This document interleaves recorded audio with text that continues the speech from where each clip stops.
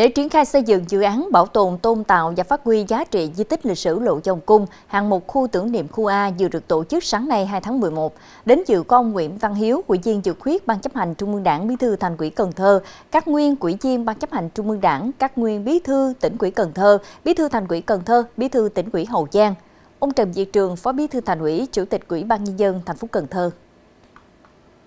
Giai đoạn 1 của dự án có tổng mức đầu tư khoảng 100 tỷ đồng do quỹ Thiện Tâm thuộc tập đoàn Vingroup tài trợ gồm các hạng mục đền chính, cổng đền, bia di tích. Trong đó, đền chính có quy mô 2 tầng cao hơn 20 m, tầng 1 là không gian sinh hoạt truyền thống cho nhân dân thành phố, kết hợp phòng đón tiếp khách, các phòng làm việc, phòng chiếu phim, giới thiệu về di tích, khu sinh hoạt văn hóa, Tầng 2 là điện thờ chính, hai bên có không gian khánh tiết, không gian trưng bày hiện vật, tài liệu, giới thiệu về di tích, được bố trí các màn hình trình chiếu về lịch sử lộ dòng cung, trực quan sinh động cho khách tham quan.